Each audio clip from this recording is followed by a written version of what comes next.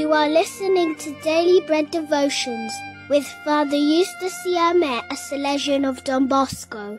Your word, Lord, is a lamp for my steps. Stay tuned. This is my daily bread. This is my daily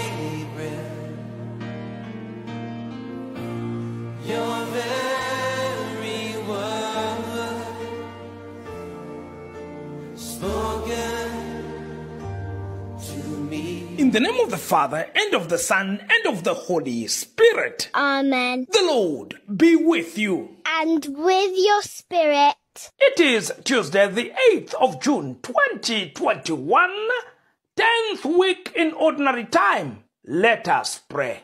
O God, from whom all good things come, grant that we who call on you in our need may at your prompting discern what is right, and by your guidance do it. Through our Lord Jesus Christ, your Son, who lives and reigns with you in the unity of the Holy Spirit, God, forever and ever. Amen. Our first reading will be taken by Dr. Doreen Mashaba, a Daily Bread member celebrating her birthday today from Harare, Zimbabwe. First reading Jesus was not yes and no, but in him it is always yes.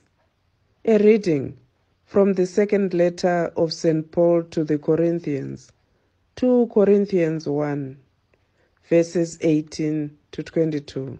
Brethren, as surely as God is faithful, our word to you has not been yes and no. For the Son of God, Jesus Christ, whom we preached among you, Silvanus and Timothy and I, was not yes and no, but in him it is always yes. For all the promises of God find their yes in him. That is why we utter the Amen through him to the glory of God. But it is God who establishes us with you in Christ and has commissioned us. He has put his seal upon us and given us his spirit in our hearts as a guarantee. The word of the Lord. thanks be to God. Our gospel passage will be taken by Father Joseph Nakakua, a Daily Bread member and an oblate of Mary Immaculate, celebrating his priestly anniversary today from Gobabis, Namibia. The Lord be with you. And with your spirit, A reading from the Holy Gospel according to Matthew. glory to you, O Lord. Matthew chapter 5, verses 13 to 16. At that time, Jesus said to his disciples, You are the salt of the earth, but if salt has lost its taste, how shall its saltiness be restored? It is no longer good for anything except to be thrown out and trodden under foot by men. You are the light of the world. A city set on a hill cannot be hidden. Nor do men light a lamp and put it under a bushel, but on a stand, and it gives light to all in the house. Let your light so shine before men, that they may see your good works and give glory to your Father who is in heaven. The Gospel of the Lord. Praise to you, Lord Jesus Christ. Yesterday we began looking at the Gospel of Matthew with the Sermon on the Mount. Chapter 5 of the Gospel of Matthew begins for us the Sermon on the Mountain. Now we are going to be with this Sermon on the Mount from yesterday until the 23rd of June in the weekdays. So we have a stretch of teachings known as the Sermon on the Mount, and scholars have agreed that uh, these sermons were the collection of sayings of Jesus that Matthew put together to pass a message for us. Remember, Matthew wants to present to us Jesus as a new Moses. He sets the Sermon on the Mount near the very beginning of Jesus' ministry after being baptized by John the Baptist, going through the waters, like the people of Israel and Moses going through the waters of the sea. Jesus is tempted by Satan in the wilderness, just like the people of Israel with Moses got tempted by Satan in the wilderness. Chapter 4, verse 11 talks about those temptations. He then learns that John had been arrested and returns to Galilee. There he begins to preach the same message that John did repent, for the kingdom of heaven is at hand. In Galilee, Jesus gathers disciples and begins to attract a wider following as a healer and exorcist. News of his ministry spreads throughout the area, including not only the Galilee, but also Syria, the Decapolis, and Transjordan and Judea.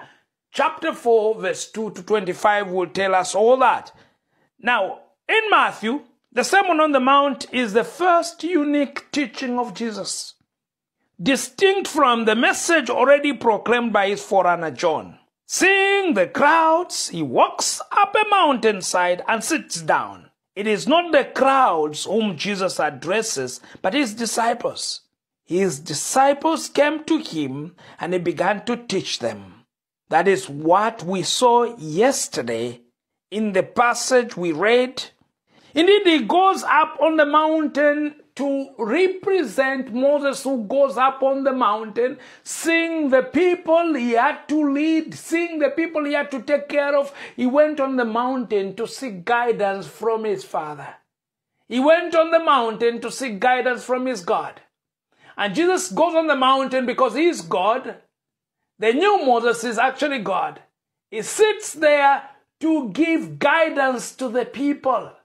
It is a new law that is going to give to those people a profile of a believer. And so, let us look at the Sermon on the Mount as we would look at the people of Israel seeking guidance after the desert experience, seeking guidance from the Lord on how they are going to lead their lives. Matthew divides the teachings of Jesus into five discourses, of which the Sermon on the Mount is the first, which goes up to chapter 7 that will finish on the 23rd of this month. Today focuses on light. He wants us to look at our lives in terms of the metaphor of salt and light. You are the salt of the earth, but if salt has lost its taste, how shall its saltness be restored? Why is he speaking like this?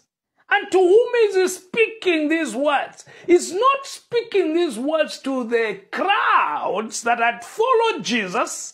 No, he is speaking these words to the disciples, to the learned, to those who are learning, to those who are listening, those who have discipline.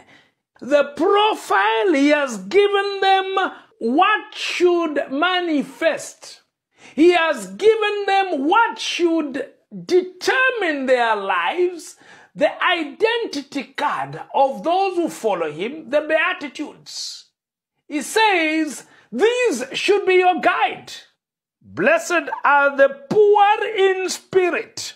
Be people who have poverty of spirit, totally dependent on God. Be people who mourn without grieving over your mourning. Don't be victims because there is blessedness in mourning. Be people who seek justice. Be people who look for ways to make things right here on earth. And having outlined those Beatitudes, Then he comes now to telling them, you know what? You are the salt of the earth. I want to let you know you are the salt of the earth because the world won't be meaningful without you. I want to let you know that you are the salt of the earth because the world won't be meaningful without you. Salt adds taste to something that you are eating. Salt actually adds meaning to food. Without salt, food will have no meaning in your mouth. You'd be eating something tasteless. So it is with a Christian, with a believer. You add meaning to life when people feel oriented.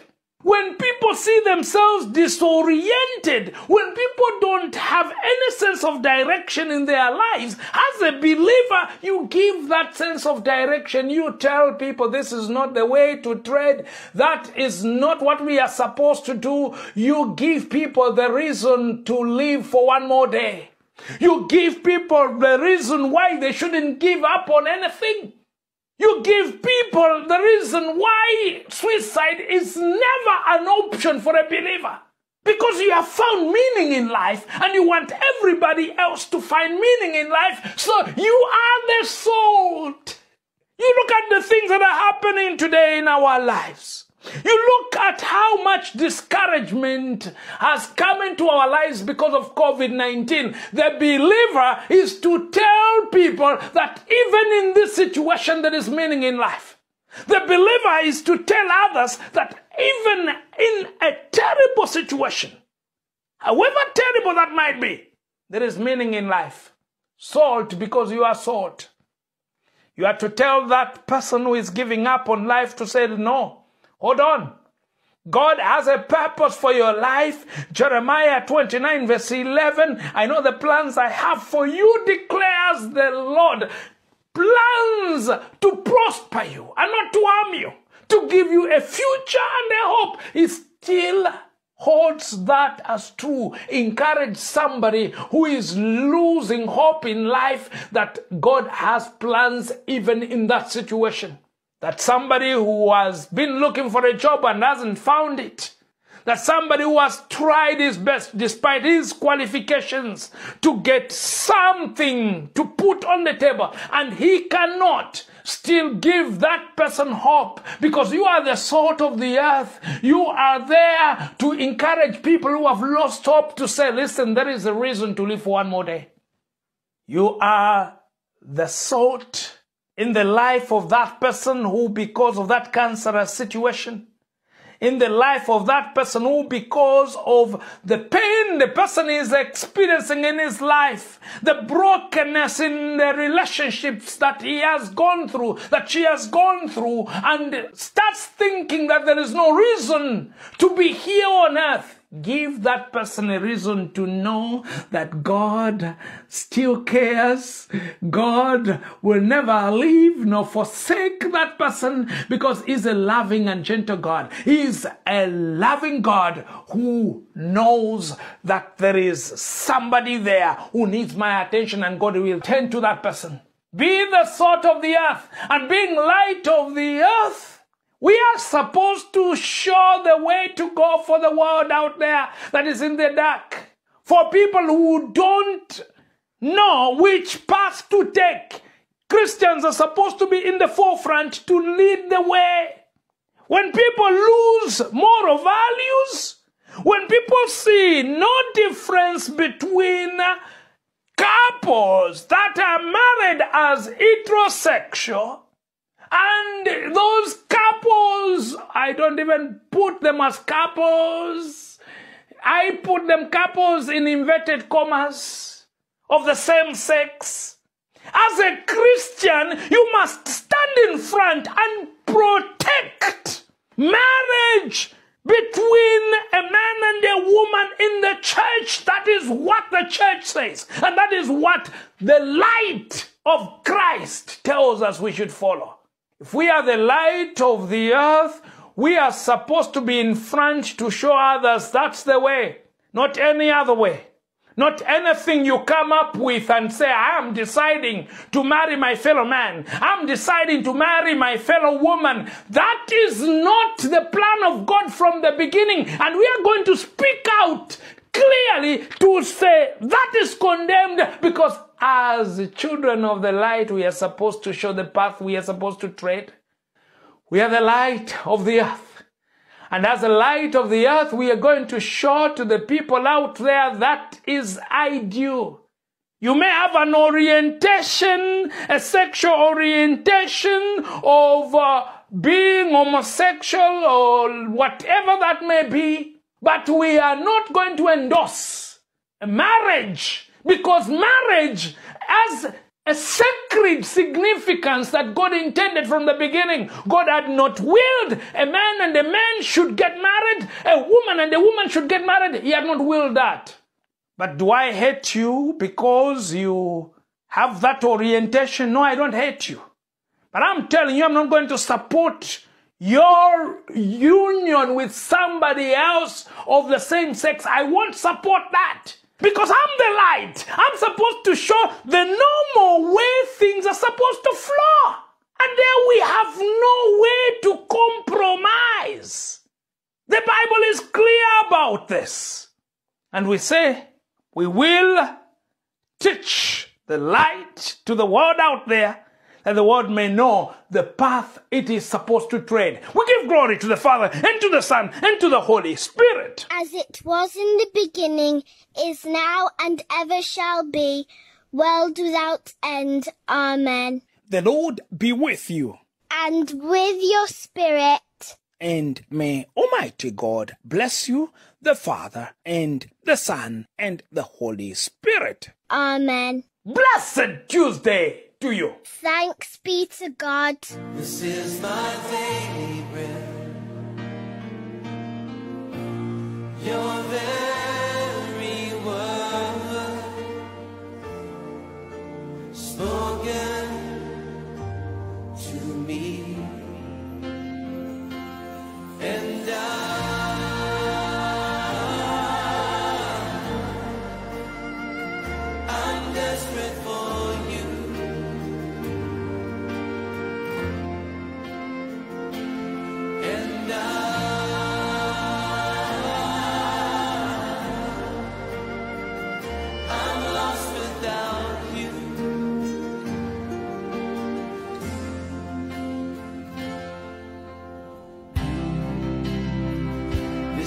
The air I breathe. This is the air I breathe.